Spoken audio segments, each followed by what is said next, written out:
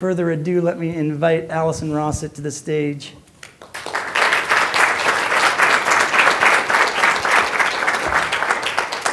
And say thank you for being here with My us. pleasure. Yes. Mwah. Now, I spent a dollar twenty-nine on, if you would take that away I so I could that, put mine yes. there. Yeah, thank you. I spent a dollar twenty-nine on that little sound icon there. So could we have like a thirty seconds of that? Because I, I really did spend a dollar twenty-nine. Oh, should, I can't do it from up here, though. I think he has to do it from there. Maybe I should have told you ahead of time that I'd spent that dollar twenty-nine.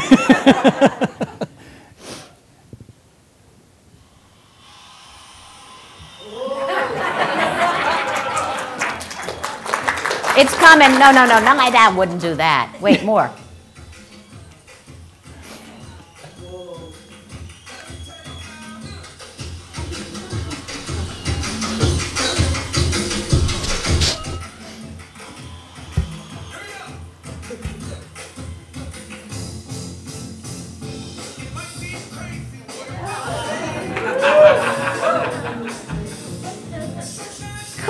Doesn't like this? Get out of here.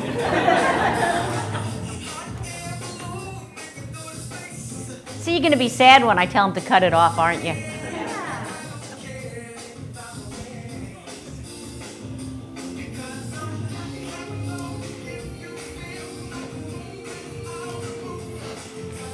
Okay, I think that's enough. I own that now. Which is so funny because I ordinarily I love that song. I do. It makes me happy. I play it on things on Facebook when they show different people, you know, cats doing it and you know. how ridiculous, huh? Really? But I thought how perfect for, for us today. And and that's right. I am not a fluffy gal. But what happened was that I um, I retired from the university. Not from the rest of my work, consulting, writing, that kind of stuff. But I did retire from the university a couple of years ago. And I was miserable. You know, everybody says congratulations, and I'm saying, what? What are you congratulating? This is grim. Why did I do this? What's wrong with me? I mean, I was really pretty. So I was unhappy, and so I was inactive, so I was more unhappy. Quite the circle. So I thought maybe I better study up on this a little bit. What else does an academic do? and I got interested in it. I sort of thought, oh, okay, worrying about me and my problems, maybe I could be useful to the universe. And so here we are today. So let's see if this is good. Okay, there, there's, there's my Twitter thing. So, folks, really, I'm sure there are some of you who are say, sitting there and going, happiness? Oh my God, are you kidding? I got enough to do. Well, let's go back. That is me and my grandmother. I know, pretty cute. We were in Brooklyn. My grandmother lived in Brooklyn. I didn't, but I lived nearby. And uh, the truth is, I looked happy, but I wasn't. Um, things were kind of hard. Nothing was that easy. Uh, a little bit of a struggle. So I got in some trouble. First, I got kicked at a Hebrew school. Mm-hmm. Here, I lasted just a few months, and it was ugly. I wasn't good at it. I, was, I had a miserable attitude. And the dance teacher, who clearly needed the money, still kicked me out. Who gets tossed from brownies?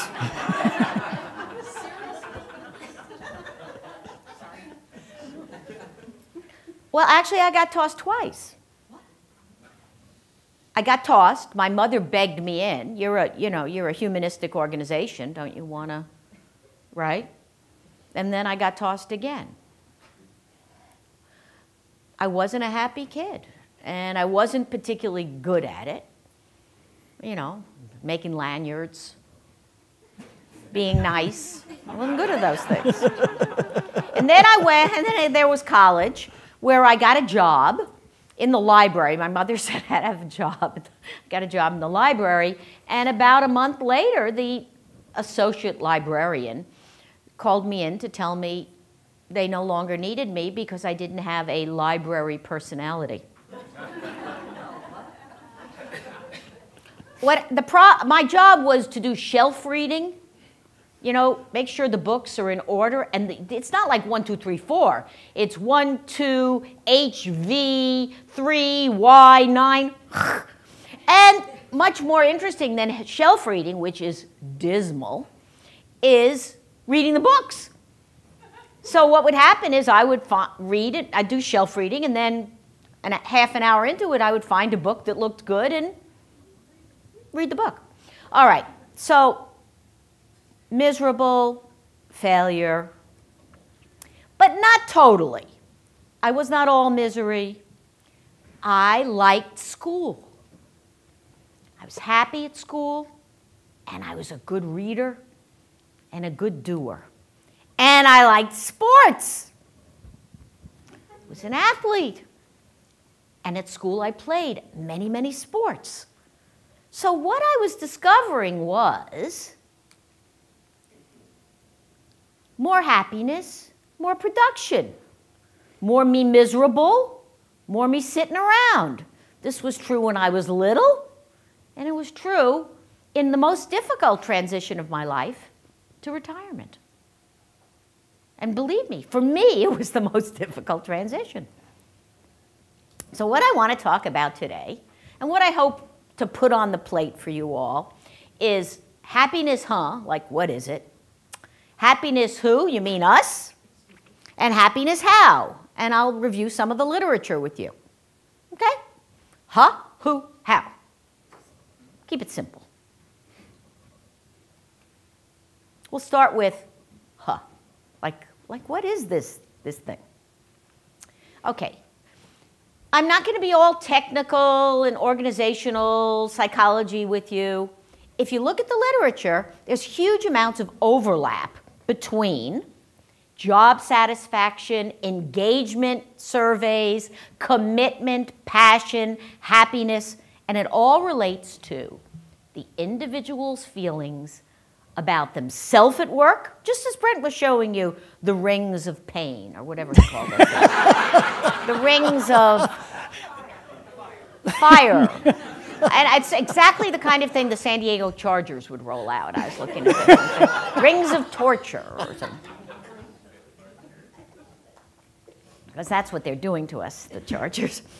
Commitment, motivation, passion, self at work, self on teams, self on tasks, and self in the enterprise. And that's where it comes from. How you see yourself on the tasks, the team, the general work and purpose, and the organization. This would not be happiness at work. I am looking here and I think maybe it's, it's not his team that's the problem, perhaps the tasks, or perhaps the resources. He needs technology. Or this burned out nurse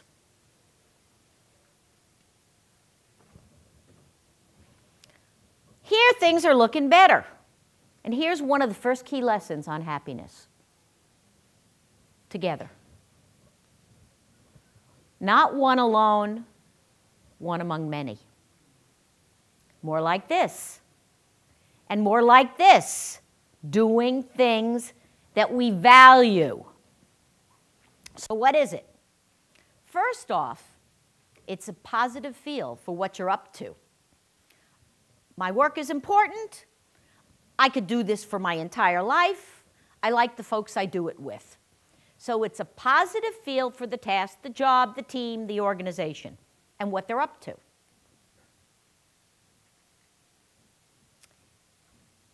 You are immersed. You lose your sense of time. It's the Csikszentmihalyi flow thing. Where'd the day go? This is big. Clear, known purpose. And if you look at the literature, if you look at the literature, it is astonishing how little match there is between people and their job descriptions and people who have no clue what their job descriptions even say. Clear, I know what is expected of me. I know how I contribute to the organizational strategy. I know what I need to do. I know how to make a difference. And this is another big piece. Some agency, some self determination. I influence what goes on. I help to make key decisions. I know what I need to learn to contribute. Agency, self determined, not totally, not the czar of it all, but some power, influence. Now, so that's what happiness is, and it's all those nice words committed, engaged, passion, joy. Here's what is important it matters at work. The University of Warwick did a study 12 happy employees are 12% more productive. When I saw that, I thought, that's ridiculous. I'll bet they're 100% more productive. I mean, how do you even measure more productive? Positive emotions invigorate employees. Can I get a nod? Do positive emotions invigorate you? Sure invigorate me. When workers are happy, they collaborate better. Think on that. They've done, these are studies. This is not just my opinion. But, but, but, most folks are not. They are not happy. They are not engaged. The majority are not. Now, this is a Gallup. Gallup says only 13% are happy, engaged, and committed at work. I don't know. Does that sound right to you? How many would say that's about right? It's about right. I don't know. Here's another study. The numbers vary, but the net story is clear. Bottom line is clear. There is not enough happiness at work. Now, the Conference Board, pretty, pretty legit agency. They've been running job satisfaction surveys, broad scale job sat surveys. In three decades ago, 61% liked their jobs. Now, the numbers are much lower. This is not good. And meanwhile, we're trying to teach them to do their jobs better. So we're basically encouraging them to have better skills when they're all bummed out. Okay, so that's happiness. What it is, it matters. Really, it matters. Look at this. I think this is a really interesting piece. Perhaps the most misunderstood driver of performance. Most people believe if I make the sale, then I'm going to be happy. Right? If I get the promotion, then I'll be happy. If I get the bonus, then I'll be happy. But the literature suggests it's the other way around bummed out Allison as a kid was a muck up in brownies and dancing school because I was an unhappy little one. Outside of school. In school, happy. Outside of school, not so happy. And it had a direct relationship. Here you can see the study. Blah, blah, blah. Laura King and Ed Diener found strong evidence of directional causality between satisfaction and business outcomes. And here's where it's important to us. So that's the link happier, more satisfied, more engaged, more committed, more productive, more collaborative. Ooh la la. But there's, look at those last two paras. This sense of well being is surprisingly malleable. Thus, we have an opening. People like us can make a difference we can help them find glimmers of joy. Glimmers. I'm not saying you can take a sad sack and turn them to a happy person. Let's not kid ourselves. Glimmers of joy in touch with the good stuff. So, what is our job? What is it really? And this is just my opinion. I think results are our job. I do. I've always thought that. See, Brent said I wasn't fluffy, and I'm not. I mean, I really do think it's a, and I hope it's a broad array of kinds of results. In our business, it's creating options for people. And I believe also helping people find satisfaction and joy in the, in the work they're doing. And also, given what we do, improving that work so that it could be a little more satisfactory. So they have more tools, more access to resources, more access to smart people. Okay, so performance is our job, diagnosis is our job, knowing who they are, where they're going, helping them see that. Who are they? What do they, what do they know? What do they feel? John Dewey in the 20s and 30s. It was a revolutionary American moment. Now, this is really a big deal. John, Dewey I know this because I wrote, write books about needs analysis, or I wrote them, actually, wrote. Not going to write another one. Um, John Dewey opened up the door to the question what do people feel? Before that, no one had ever asked. What do you feel? Do you want to know this? Can you see what you're going to do with this? John Dewey. That was so radical. Okay, so part of our job is diagnosis. Hopefully, along an, an array of spectrum, many continuum. Where are they in light of expectations, and not just the narrowest of expectations, like you know, safe behavior while driving the truck, but other parts of this. Prescription, given needs and expectations, we make and then we match resources. We serve them up.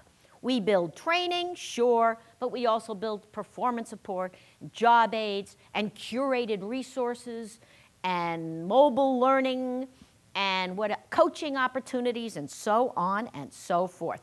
Curation, here we gather the smarts in the organization and also beyond the organization, making it all accessible, useful.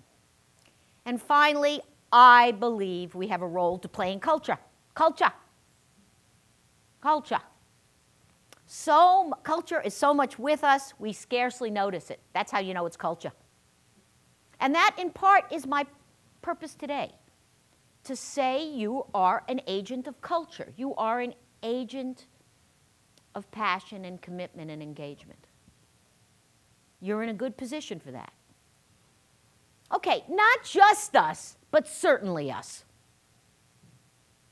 Not just us, but certainly us. So I'm not saying that HR is in it, or I'm not saying that IT is in it, and I'm not saying that benefits and compensation are. But sure as heck, it's learning. So, I talked about happiness, huh, what it is, happiness, who, why I think it's us. How about now, how? I think there are six foundations for us to, to be this kind of an agent, a happiness agent. First, we have to believe the people we serve want to learn and grow. Right? We have to believe not that they are slugs that we inherited.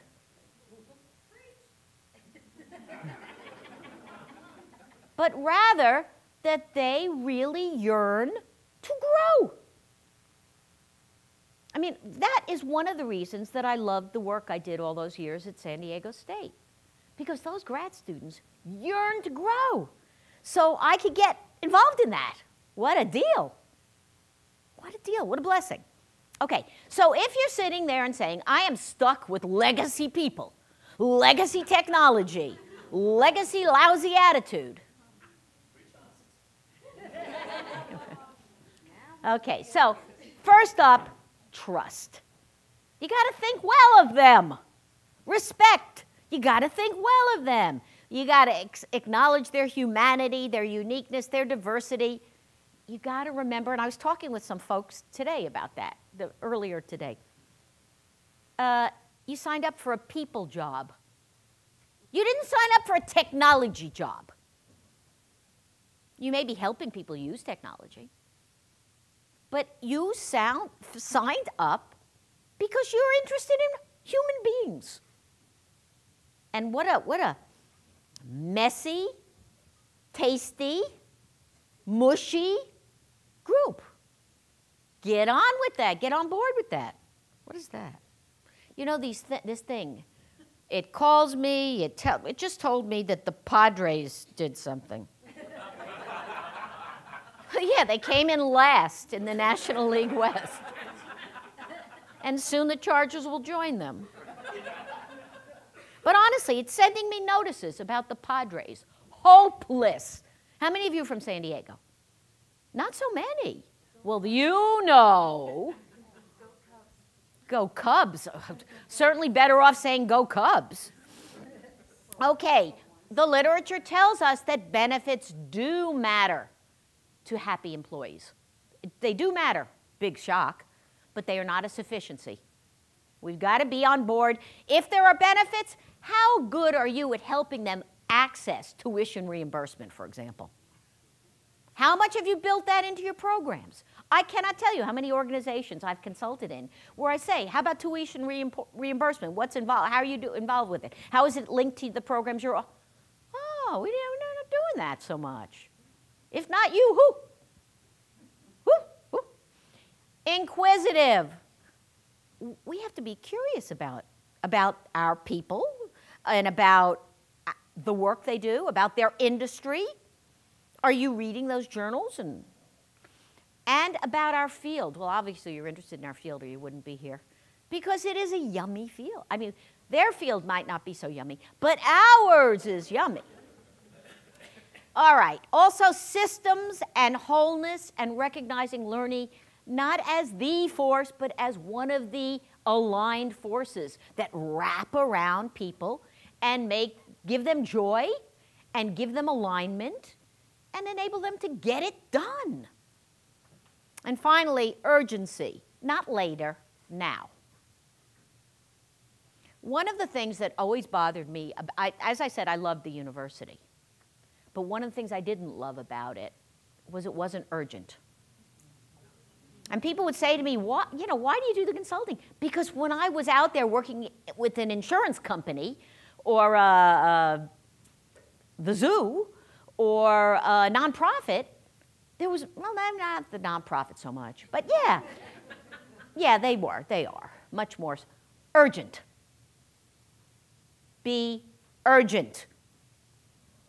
Generations? School, K 12. What do you Waste generations? Come on, urgency. So, I contend that taking on happiness, taking on happiness, taking on engagement, commitment, passion, and joy is different.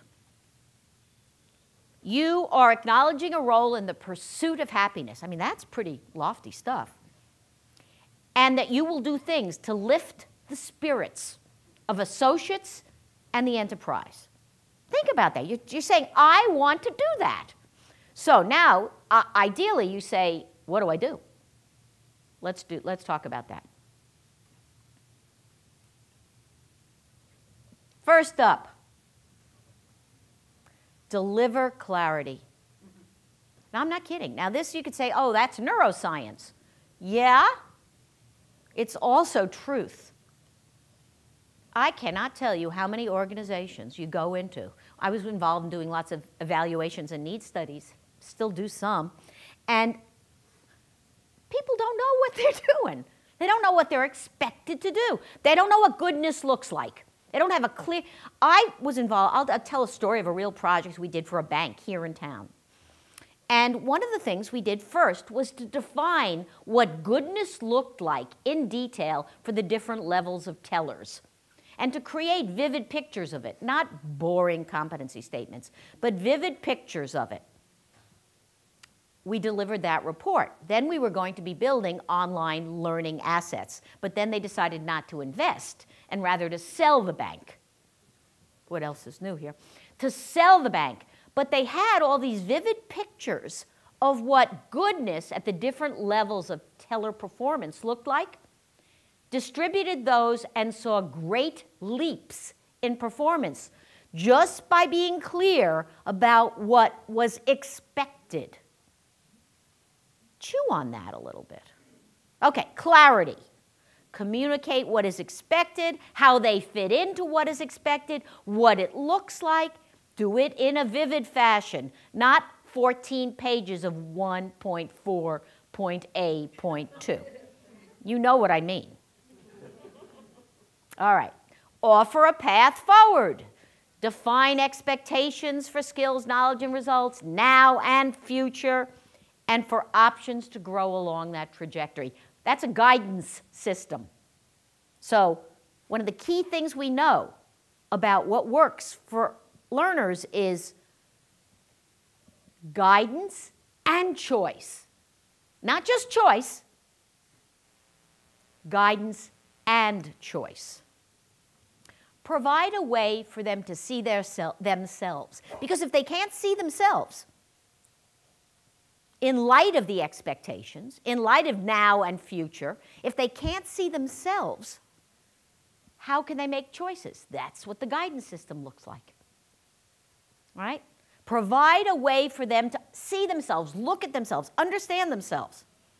You don't need me to read these. But conversations rich with feedback. Get supervisors and peers involved. Give them authentic challenges. I remember working on a sales training program where we'd put up all these case, graduated, oh, I better put this down, I'm to spill that. graduated sales challenges where more was known, less was known, much less was known, much more complicated requests, much more complicated context. And they competed on it. It was all online. It was a wonderful way for them to measure themselves and develop themselves. It was nifty. Create a sandbox. Build, buy, and curate experiences, programs, and assets that match the trajectory, the path they must travel, the expectations. Ah, I said this already. Enable choices, enable agency. Provide both guidance and choices. Do not let them flop around. Or if they flop around, make sure you have support there for them. Because if they flop around, they will feel a lack of confidence. And if they lose confidence, it kills motivation. Right? The role of confidence in motivation is huge. Two things produce a, a, a motivated employee confidence and high value associated with the activity. They're related to each other, right? So if I can't make the system work for me, if I can't pull up the video, I'm supposed, I'm, I have two ways I'm going to go, right? I'm either going to say it's stupid stuff, which is, then I'm not putting value on it, or I'm going to say I'm stupid. You got to be a genius to operate the system.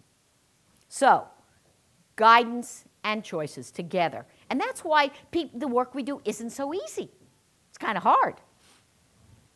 Finally, literature really clear. Cultivate a social connection, a bond. Get the sales folks working with the sales folks. Get the sales leaders working with the sales folks.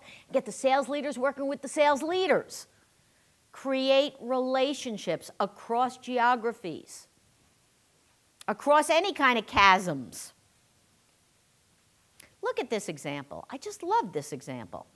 Ochsner.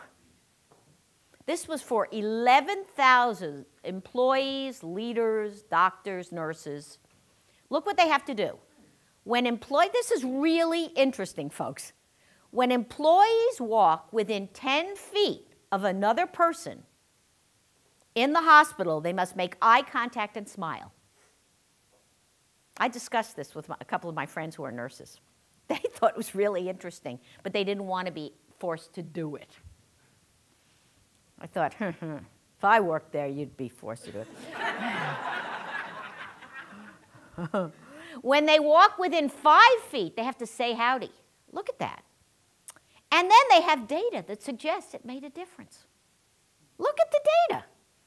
But what's important to us is bonds, social support appears to lead to not only happier employees, but also more satisfied clients. In other words, results. Results that matter. I love that. So, one of the things I'm about to get to is that it's all about encouraging reflection, mindfulness, appreciation. Here's what we want them to reflect on. My brother, who had everything on earth to be happy about, really wasn't so much. And the reason was he compared himself.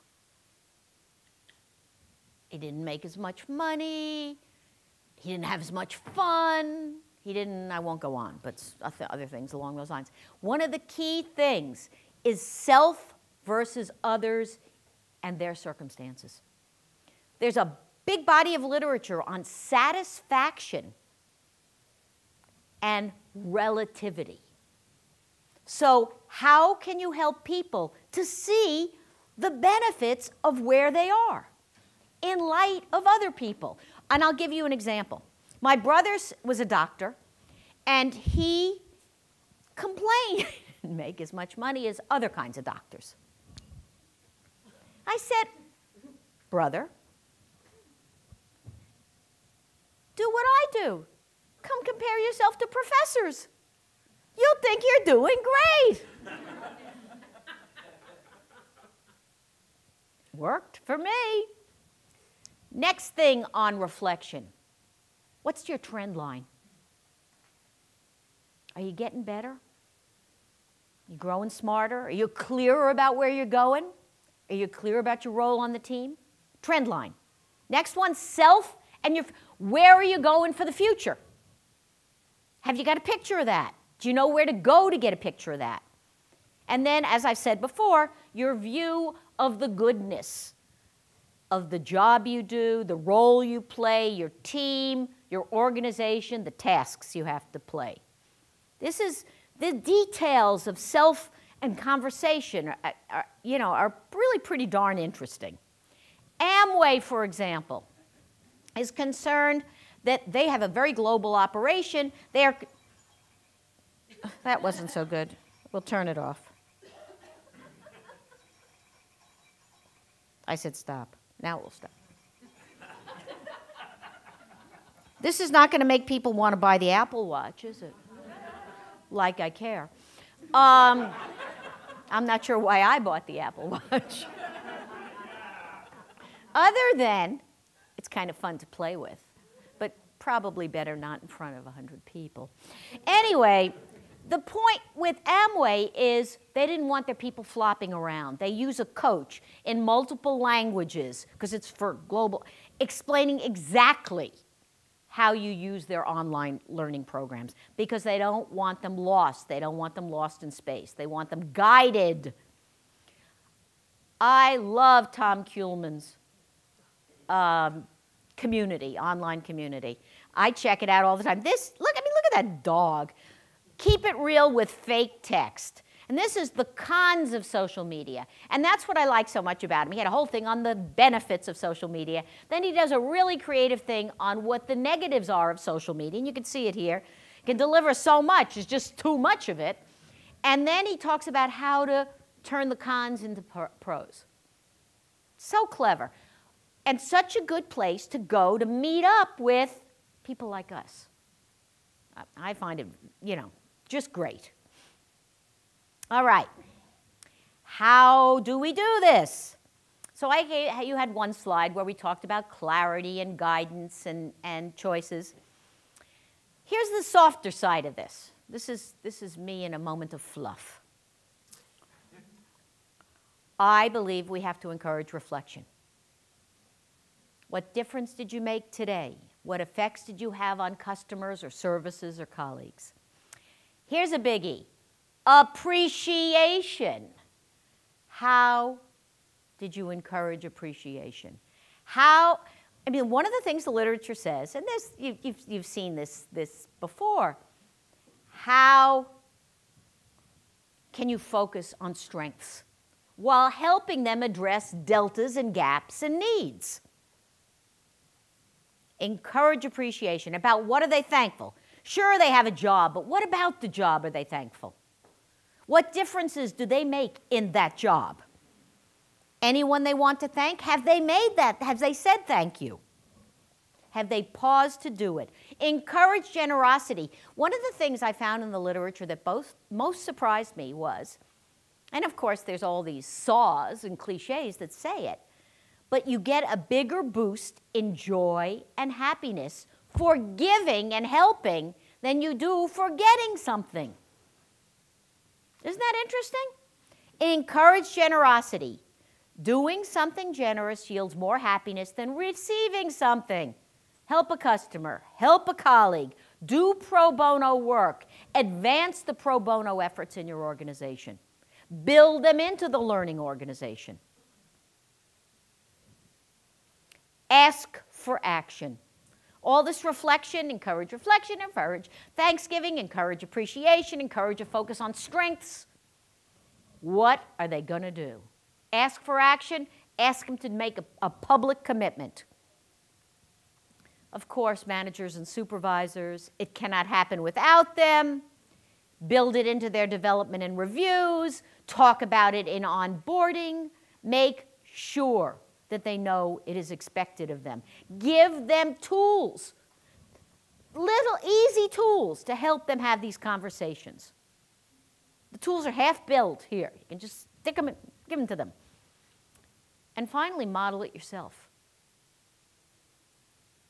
Are you in touch with how you're happy? What you have to be thankful about? How you can be more generous? How you were generous? How you can be more generous? I loved this visual. Could not control myself. Sometimes the attitude adjuster, that would be us, might have to adjust her own attitude. And here it is. How am I feeling about my work? Can I point to something I like about this job? About what we do, what we contribute to the universe, what I do? Am I seeking out colleagues and am I listening to them? I mean, I'm sure that that one, am I seeking out colleagues and listening to them? That, just reading that and going and doing that out at the university would have helped. It certainly would have given me and the person I was listening to a nicer day. Because we're so busy, doing, doing, doing. Can I see how I've improved? Have I learned anything today? Have I used my skills to help someone else learn? Have I complemented someone's strengths? So it's not just about them, it's not just about our role, it's about each of us individually.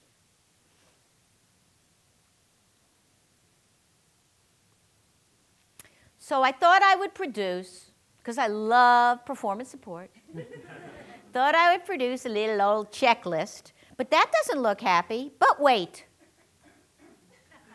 You notice I picked the faces that were drawn in the sand. Get to the beach. This is nice over here. This is the bay. It's good, very good. But also, you should get to the beach. And if you want restaurant suggestions, you know, you, there's, there are lots of places. Okay, so you have to believe that happiness and joy and commitment and engagement matters, and you have to believe it's on your plate too, along with all those other things. You have to believe that the line and the learning organization are partners and will work together. You need to believe in the power of clarity of expectations, like the example I gave you of the bank tellers. I mean, that is really a true story. You need to provide them with paths to success, rich options for moving along paths, aided and unaided. Aided would be performance support, job aids, Unaided would be all kinds of learning, moving it to memory inside the mind, the heart, and the belly. Right? Unaided. But aided is, this checklist will help you with that. Choices and guidance systems, both. Social bonds, this is what the literature tells us, will help produce happier employees. A culture of self assessment and reflection mindfulness about strengths, and lots and lots and lots of thanksgiving. You know how much you like being with people who are givers of thanks. And I don't mean just to you. And finally, all this thinking they're doing, appreciating, thinking, reflecting, they have to do something active in light of it. Right? Um, there's a word that, that I learned when I moved from the east to the west, and the word is omphaloskeptic. I know. It's an unbelievable word. That's why I like it, because it's so bizarre. And if I had a thing, I'd write it up here. But om, I could do it on here now with this, my new system, but it won't fit on my screen. Om, O-M, phallo, P-H-A-L-O, skeptic, right? And what that means is, anybody know? Focused on your belly button. In other words, it means obsessed with your own process and your belly button. That's why the last one is so important. While we, we've gotten so busy being productive and making and producing and buying and building and adapting, diagnosing and prescribing, assessing, maybe while we're reflecting and appreciating, maybe we need to also be sure that they're ready to do something as a result. Do something.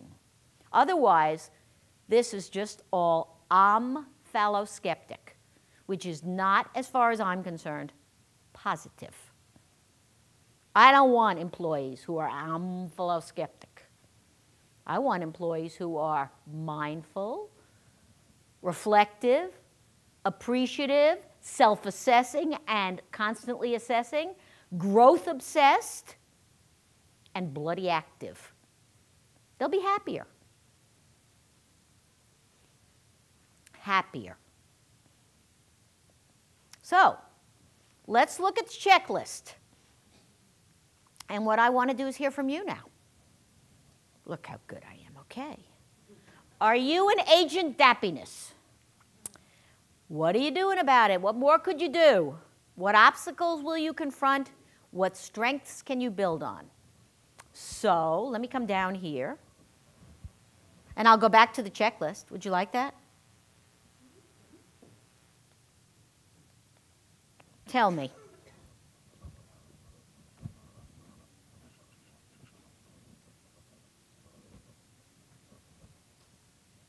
Yeah, Candace. My um, exec, well, our team was just reorganized, as many people. My exec is having a real hard time there, so I think I can help her Yeah. I think that would be true, and that would make you more happy, which is always a good idea. Yeah, yeah, yeah, yeah. Oh, you want me to? Okay, we can. Ha- I'll hand it to people. There you go. So, um, in my organization, Why don't you say where you work, Candace? Where do you work? University of Oregon. Oh, University of Oregon. Go Ducks. Go Ducks. I work.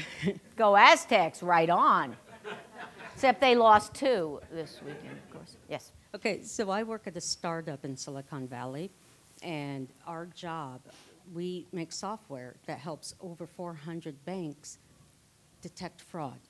Cool. And my job is to teach customers, which it's the coolest thing ever. You know, I'm from a small Midwest college town, and this is beyond amazing. But one thing, I love my job, but one thing that I did to help, the IT department would send out these emails trying to get us to do something. And- Exhortation. Eat your vegetables. and one day they asked me, why is nobody doing this? And I was like, well, okay, if you're going to ask me, let me tell you, I don't know what you want me to do, and you told me what you want me to do. So I helped them. Uh, Clarify their expectations and ha- simplify, I bet. I gave them an analogy. The best emails, instructions look like children's books. Very few words, lots of graphics, and white space. I actually just posted something, I think, on my Facebook page. But whatever, whatever it was, it was a, it was an, um, here, it was an article, uh, a very short article on how you can fix your email. Oh, oh, e- it's called Email Zero or Inbox Zero. It's, the article is called Inbox Zero. You can find it. And basically, they said, do it in the subject, right? Do it in the subject. Don't say hello. No more than three or four sentences. And don't say goodbye. But of course, I looked at that and I thought, well, that's very process oriented and that's good. And, and I like it. it and I'm kind of oriented that way. But uh, better would be to find the right three or four sentences. You know? Okay, more. I want you to talk to me about happiness. Look at the checklist. Can you do it? I'm coming to you. Say who you are, where you where you're at. Okay. Hi, I'm Linda. I'm from the Chicago area and I work for a biopharmaceutical company. Um, so, for happiness, um, lots of, um, we were part of a spinoff, so lots of reorgs as far as um, being um, sort of a top 10 pharmaceutical company, trying to get settled into our new business line. Lots of reorgs. I've had um, six managers in five years, so you can kind of, and, and I'm not isolated, uh, the flux of the environment. Um, so we got a new leader in about two years ago, and actually the key to it was for us, at least, the culture. And she actually gave uh, people permission to be happy, and whatever happiness meant for you. And so a lot of what you've talked about, reflection mindset, she enabled that that with permission, gave people resources. So what's so weird is, you know, I was part of the old company with a 125 year legacy. So seeing the transformation, it really came from the culture and really from the top up of, you know, I can't, you know, when you have thousands of employees and you're a global company, happiness means something so different from everybody. But if you enable everybody to do that and you give them permission, it sort of became a grassroots uh, type effort and it became so contagious. And so um, I've been in the organization for a while now and I'm so happy. I'm like, I I would arm wrestle you for my job because I love my job. You'd have to, and, and she's I'm not, she she's already she's there already too. That's wonderful. Okay, there's got to be somebody who's yeah, go, sure, but I want somebody to be thinking, I'm not so happy, or I'm only a little happy, and I'm not sure, so sure my organization wants me spreading happiness throughout. So I'd like to hear about that, but not you. No, you can say what, but then the next person, I want you to admit, well, we, we do software, or we drive trucks, or we do safety, or we sell insurance. We don't do happiness. Uh, with a with the team I had at uh, Banner Health, we when I started working with the team, their uh, their engagement scores were 67% out of 100. So every other person literally hated being there. Cool. Yeah, yeah, It's Cool. good times. What an opportunity. Yeah. So what we what we worked on over the next couple of years was to um, not just to make them happy, but to make them vulnerable to each other, to allow them to say, "I'm not happy," or "I need," or um, "Jane, I needed this from you and I didn't get it, so that so I failed." Um, not Wow. not blaming, but the openness to be able to say, I, "I need, I depended on you." So we did that, and when um, uh, so in shifting and letting them say, even things like, I don't know how to do this, who can help me with this, um, it became so strong in my team, we um, eventually shifted to having 95 plus percent engagement. And that, Wow. was, that was the biggest change we made was just letting people say, I'm unhappy and I think it's okay. I, sh- I should be able to say that out loud and not be punished, or I'm disappointed or whatever. That was the biggest change we made. Wow. Cool. Yes. Well, I'll, I'll, I'll do a little time machine here and go back about four months when I was still working for a, an educational publisher. And uh, I, I was laid off in June. and it was an environment that um, very impassioned people who were being shut down. Um, you know, th- there was not any kind of how are we going to survive this downsizing of the industry. You know, there was no admission that there was a, a, crisis going on in the industry. You know, the, the, that the publishing industry is shrinking, and so it's getting tougher and tougher and more competitive and what have you. And there was no discussion of that. The upper management you know, didn't want to talk about what was going on in, down on the, on the line, and so those of us who were in sales and who were you know it, meeting with customers, just every day was a grind, and it was a grind and a grind, and there was no acknowledgement of how difficult that was. You know, so there's, I, I think part of happiness, honestly, with Rich for, for, for us, conversations. is rich Real conversation, real conversation, conversations. admitting we have a challenge here. This is not a good environment. you know, and, and we wanted to talk about it, and management kept snuffing it out. Interesting. Thank you. And I'm happier not to be there. Uh, you know, uh, pub, the publishing industry. I, I obviously have worked with the publishing industry, and uh, the th- now there's another example of lack of urgency. I mean, like, you know, lunch and cocktails all day. Just unbelievable. Somebody had a hand over here. Yeah. Thank you. My name is Henrietta Riesco, and I come from Seattle. Anybody else here from Seattle area? Yay! Hello, I miss you. My niece So- is moving there. Mm. So I work for a PR agency called We Communications, and we are about 700 people, privately owned. So I see a different shift, like completely the opposite. So we were like happy, everybody should be happy, so we don't talk about bad stuff.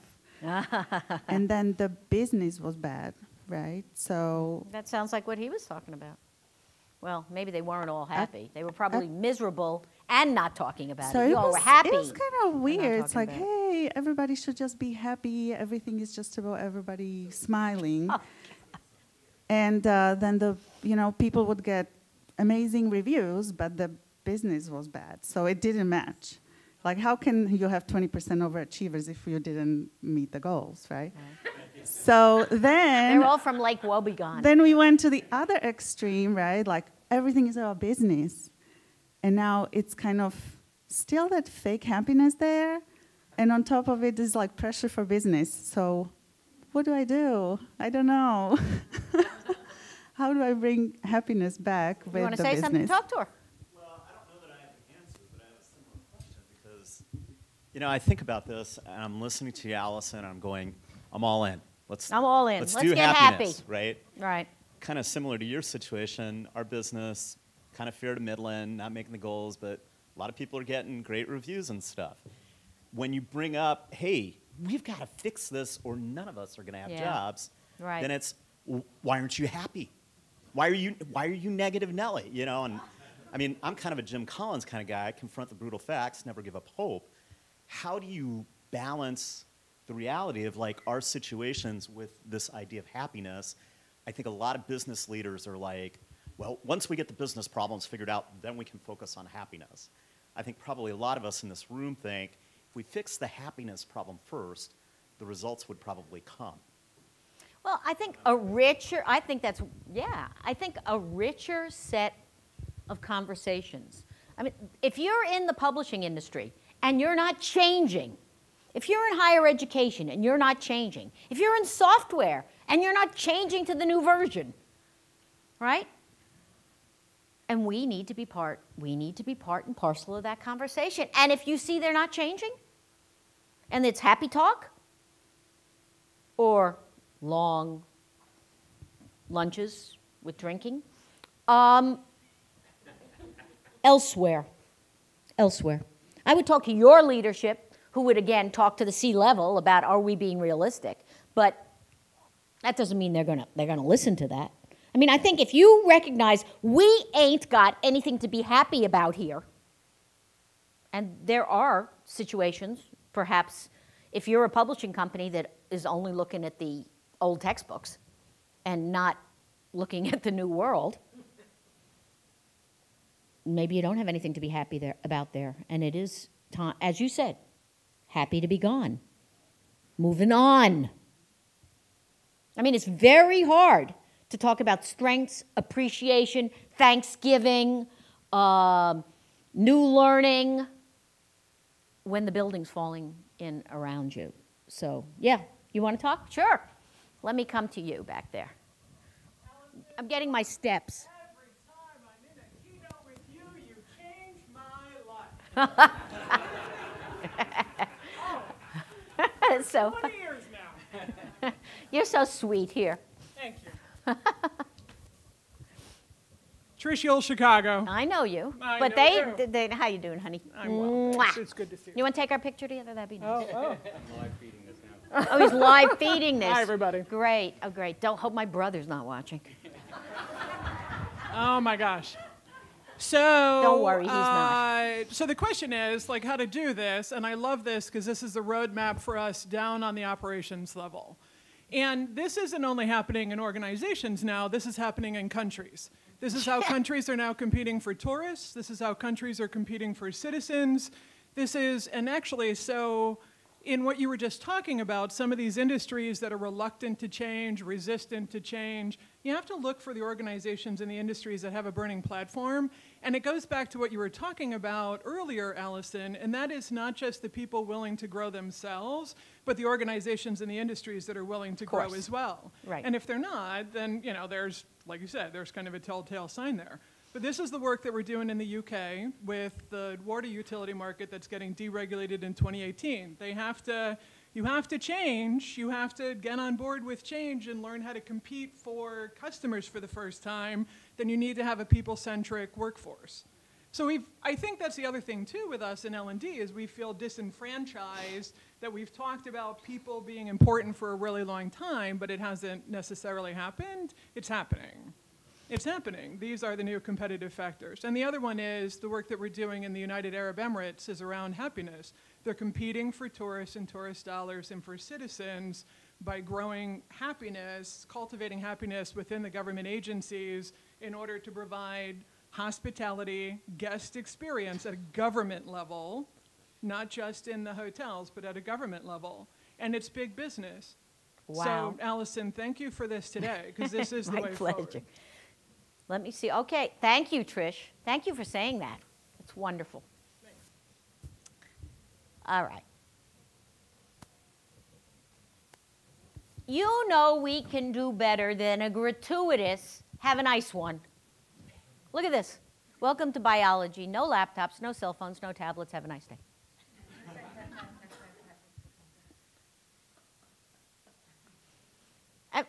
and, that professor thinks she's trying or he's trying. They're trying all right. so here's some resources. Here's some books I'm selling. Not here, I'm not selling them here. Yakety yak, blah, blah, blah, blah. So, well, I'm so much happier now. You know? Uh, actually, the literature, I see, as I said, I was reviewing it, suggests that we, as we age, we do get happier. No kidding. Not all the way forever. I think that's when we have aided happiness later. But you know what I mean. Yes. But truly, and what they say is up to about 40, then 40 to 75 or something, the happiest. Huh? Huh? It's true. I think it is true. I think it's true. Do you think that's because we have uh, ex- unhappy experiences in which to judge? So now we can say we've lived through this. We know what unhappiness looks like. Yeah, we know what unhappiness looks like. So now I have a greater appreciation. I think it's that, and I think it's that. More.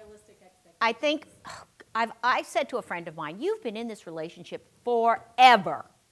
This is great. How did you do it? And she said, I lowered my expectations. but remember, I said clarity of expectations. They don't have to be the highest of expectations. Joe? That's, yeah, somebody said that over here. Yeah, yeah, yeah. It is, right. Right, right, right. I used to do all these meals and dinners with people I didn't want to do it with, and dinners and uh, no more. I don't do that. Yeah, yes, sir. I had a friend years ago say he wasn't getting older, he was gaining more perspective. Mhm. And I, I started to understand that. You got more Yeah. So I would say, you know, it's good news. Yes, ma'am. I think we also learned, I've learned anyway, that um, there's joy in the journey. When we're young, we're just always out there. When I get to this point, I'm going to be happy. When I get to this point, I'm going to be happy. And now it's just like, I'm just happy. Yeah. Hmm I, yes, yes. Really? Give me an example. You can see I was an annoying student. Give me an example, other than I'm always pouring things on myself. So. In, in a relationship, you've got um, the husband and just shake his leg on the floor and start to get feelings and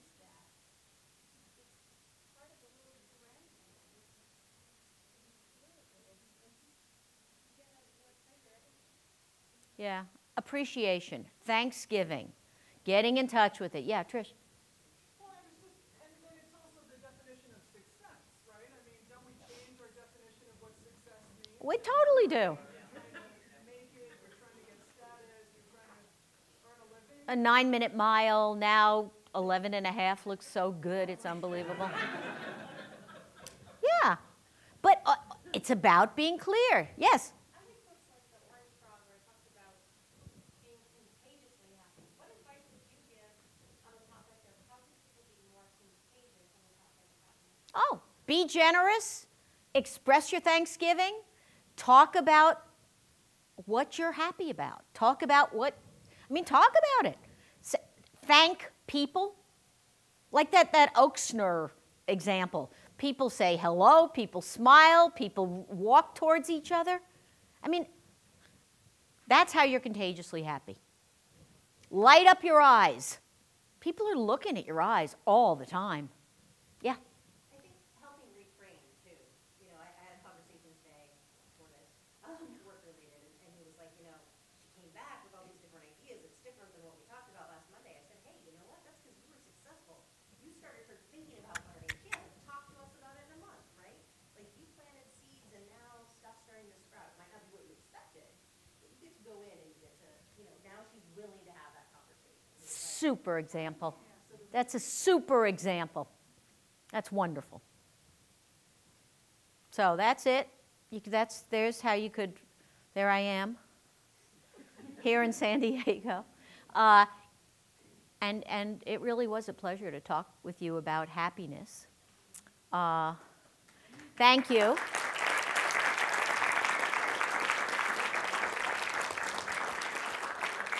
and go to the beach. I'm going to hang around for a while. If you want a, um, a restaurant recommendation, what's tonight? Today's Monday. Uh, theaters are dark.